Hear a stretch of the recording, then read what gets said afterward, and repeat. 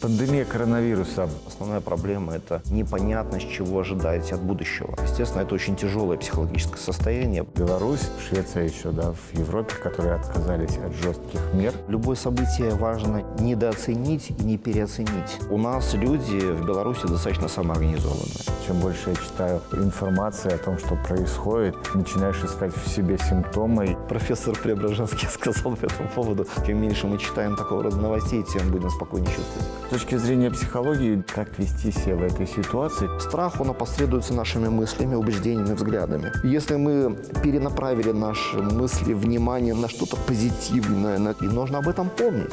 24 вопроса для психолога и бизнес-тренера Михаила Дернаковского. Мы научимся быть более внимательными друг к другу. Вот это вопрос большой. Насколько внимательны, сложно сказать, но что будем, наоборот, отстраненными, это точно. Перспективы, однако же. Это все рано или поздно как-то все-таки устаканить. Ну, не может по-другому быть. Смотрите во вторник только на нашем канале.